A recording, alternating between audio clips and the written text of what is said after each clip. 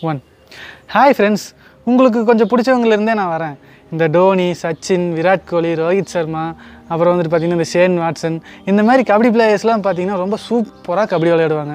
என்னண்ணே கிரிக்கெட் எல்லாம் பார்த்தது இல்லையா கிரிக்கெட்டா ஆமாம் சாரிப்பா சாரிப்பா. இவங்கெல்லாம் கிரிக்கெட் பிளேயர்ஸில் இந்த மாதிரி கிரிக்கெட் பிளேயர்ஸ்லாம் பார்த்தீங்கன்னா ரொம்ப செம்மையாக கிரிக்கெட் விளையாடுவாங்க. ஒவ்வொருத்தரும் அவங்கவுங்க பார்ட்டை வந்துட்டு அருமையாக விளையாடுவாங்கன்னே சொல்லலாம். அவங்கள பற்றி அவங்களுக்கு தெரிஞ்சதை விட உங்களுக்கு தான் அதிகமாக தெரியும் அப்படின்னே சொல்லலாம். அப்படிங்கிறப்ப நான் அவங்கள பற்றி தனித்தனியாக சொல்ல வேணுங்கிறது இல்லை. ஏன்னா அவங்களாம் அவங்கவுங்க பார்ட்டில் வந்துட்டு அழகாக விளையாடுவாங்க. அப்புறம் ஸ்பெஷலாக பண்ணுவாங்க. அப்படி இருக்கிறப்போ இவங்க எல்லாத்துக்கும் காமனாக ஒரு விஷயம் இருக்குது. என்ன அப்படின்னு சொல்லி யோசிக்கிறீங்களா? ரொம்பலாம் யோசிக்க வேண்டாம் இந்த பாலு பேட்டு கிரவுண்டு அப்புறம் ஸ்டிக்கு இதை தான் சொல்லிகிட்டு இருக்கிறேன் இந்த மாதிரி இவங்களுக்குள்ளேயே காமனான விஷயங்கள்லாம் இருக்கிறப்ப பார்த்தீங்கன்னா இந்த எலக்ட்ரானிக் சர்க்யூட்லேயும் அதாவது எந்த ஒரு புது ப்ராடக்ட் எடுத்திங்கனாலும் பழைய ப்ராடக்ட் எடுத்திங்கனாலும் அதில் வந்துட்டு கண்டிப்பாக ஒரு பெரிய எலக்ட்ரானிக் சர்க்யூட் போர்டு இருக்கும். அந்த மாதிரி சர்க்யூட் போர்ட்லேயெல்லாம் பார்த்தீங்கன்னா மோஸ்ட்லி எல்லா சர்க்கியூட்லேயுமே காமனாக ஒரு சில சர்க்யூட்ஸ் வந்துட்டு இருக்கும் அந்த மாதிரி காமனாக இருக்கக்கூடிய சர்க்யூட்டில் வந்துட்டு ஒரு டாப் ஃபைவ் சர்க்யூட் வந்துட்டு இந்த வீடியோவில் பார்க்கலாம்.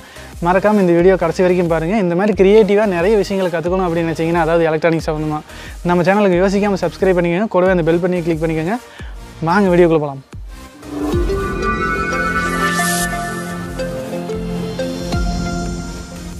ஃபஸ்ட்டு வந்துட்டு பார்த்தீங்கன்னா வோல்டேஜ் டிவைடர் சர்க்யூட் இந்த வோல்டேஜ் டிவைடர் சர்க்யூட் வந்துட்டு ஒரு மோஸ்ட்டாக இருக்கக்கூடிய எல்லா சர்க்கியூட்லேயுமே வந்துட்டு பார்த்திங்கன்னா ஒரு அத்தியாவசியமான ஒரு பார்ட் அப்படின்னே சொல்லலாம்.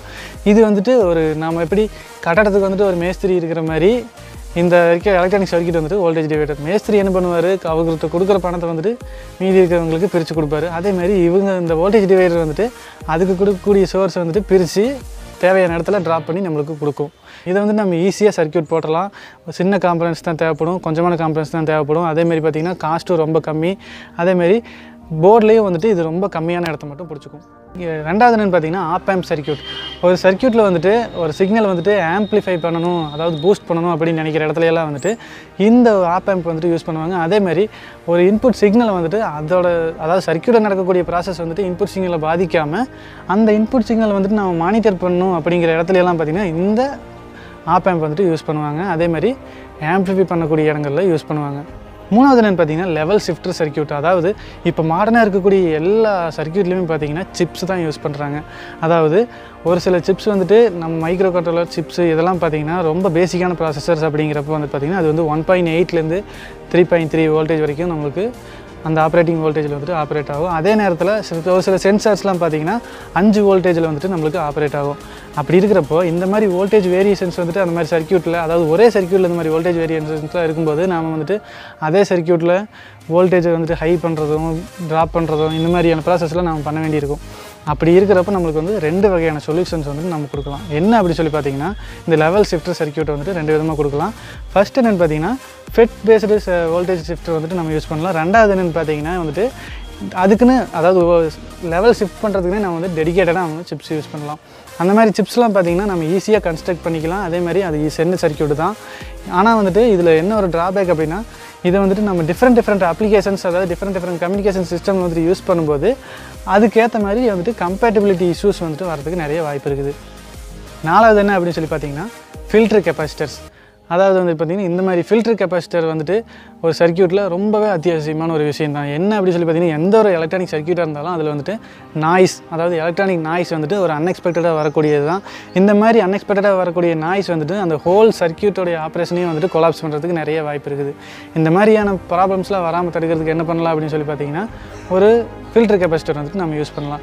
இந்த ஃபில்டர் கெப்பாசிட்டர் வந்துட்டு நம்ம யூஸ் பண்ணுறது மூலமாக இன்புட் சிக்னலையும் நம்ம வந்துட்டு ஃபில்டர் பண்ணிக்கலாம். அதாவது இன்புட் சிக்னலில் வந்துட்டு நாய்ஸ் வராமையும் நம்ம ஃபில்டர் பண்ணிக்கலாம்.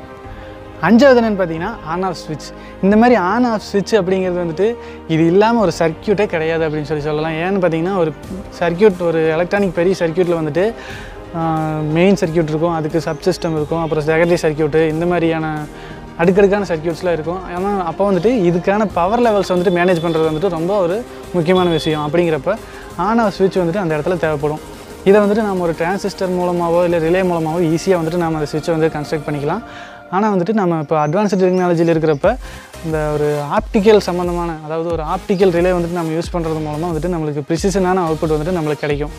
ஓகே ஃப்ரெண்ட்ஸ் இந்த வீடியோவில் வந்துட்டு நம்ம மோஸ்ட் காமனாக வந்துட்டு எல்லா சர்க்கியூட்லேயுமே இருக்கக்கூடிய ஒரு டாப் ஃபைவ் ஸ்மால் சர்க்யூட்ஸ் வந்துட்டு நம்ம இந்த வீடியோவில் பார்த்தோம். இந்த வீடியோ உங்களுக்கு பிடிச்சிருக்குன்னு நினைக்கிறேன். அப்படி உங்களுக்கு இந்த வீடியோ பிடிச்சிருந்தா ஒரு லைக் கொடுங்க. இதை வந்துட்டு எல்லா EC first year final year ஸ்டூடெண்ட்ஸுக்கு ஷேர் பண்ணுங்கள் அதாவது ஃபஸ்ட் இயர் ஃபைனல் இயர் ஸ்டூடெண்ட்ஸுக்கு மட்டும் ஷேர் பண்ணுங்கள் இதே மாதிரி வந்துட்டு உங்களுக்கு எலக்ட்ரானிக்ஸில் வேறு ஏதாவது டாப்பிக்கில் வந்துட்டு எலக்ட்ரானிக்ஸில் வந்துட்டு எக்ஸ்ப்ளனேஷன் தேவைப்படுது அப்படின்னு சொல்லி நினச்சிங்கன்னா மறக்காமல் கீழே கமெண்ட் பண்ணுங்கள் நான் அதுக்கான வீடியோ சீக்கிரமாகவே அப்லோட் பண்ணுறேன் அப்புறம் வந்துட்டு பார்த்தீங்கன்னா பார்ட் டூவில் சந்திக்கிறேன். பாய்